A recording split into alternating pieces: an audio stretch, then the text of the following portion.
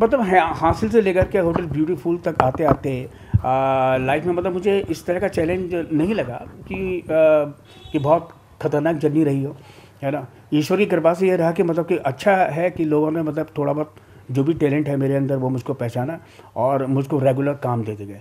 सबसे बड़ी बात ये कि आप रेगुलर काम करते जाइए और वो मुझको मिलता रहा। ये प्रभु की कृपा है और इंडस्ट्री की कृपा है। यहाँ के जो लोग हैं डायरेक्टर प्रोड्यूसर्स उनकी कृपा है कि वो मुझे पहचान रखते हैं मेरे को पहचानते हैं और मुझे मेरा काम देते हैं। कोई ऐसा रोल जिसने आपकी लाइफ को पूरी तरह से टर्न कर दिया वहाँ से एक रिकग्निशन मिलने लगा आप एक रोल पहले था आ, मिथ्या में उसके बाद एक रोल आया पान सिंह तोमर में।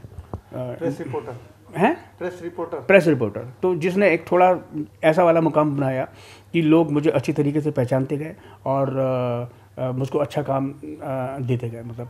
अभी ये है कि सोचते हैं कि मतलब कुछ खास किरदार दिए जाएँ और मैं करता हूँ उनको उस तरीके से। आपने लगभग आपने लगभग सभी अच्छे स्टार्स के साथ भी काम किया। जी जी। तो कितना कौन सा ऐसा सुपर स्टार रहा है स्टार रहा जिसको जिसको देख के ये लगता हो कि हाँ अब ये इस आदमी में बहुत पोटेंशियल है?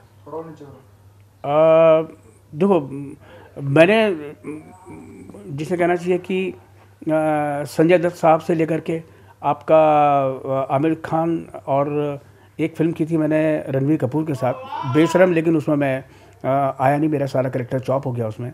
लेकिन इन तीनों के ही साथ काम करते करते, इन सुपरस्टार लोगों के साथ काम करके मुझे बहुत अच्छा लगा। हाँ सलमान भाई के साथ भी मैंने किया एक ये प्रेम रतन धन पायो तो पर वो थोड़ा था, पर बहुत एंटरटेनिंग था।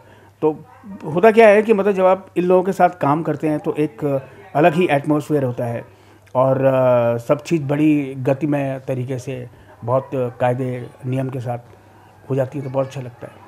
होटल ब्यूटीफुल के, के बारे में और क्या कुछ रहस्य खोलना चाहेंगे कुछ? होटल ब्यूटीफुल का तो रहस्य अपने आप में ये है कि वो इतने सही समय में शुरू होकर कंप्लीट भी हो गई ठीक है? और इसके अंदर मेन क्या है कि आ, मेरा और जॉनी भाई का एकदम तकरार रहता है इसमें बना हुआ। जॉनी भाई जो किरदार निभा रहे हैं, वो मतलब उनके फोर फादर मतलब मेरे दादाजी और उनके दादाजी, है ना, वो दादी, उनकी दादी और मेरे दादाजी।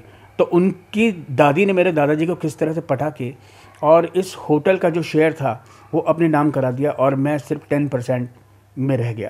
तो ये हमारी एक लड़ाई झगड़ा, एक जो चोंच लड़ती रहती है हमेशा। और ये फ़िल्म को देख के ही मालूम पड़ेगा कि एट लास्ट मैं इसमें सफलता हासिल करता हूँ कि नहीं।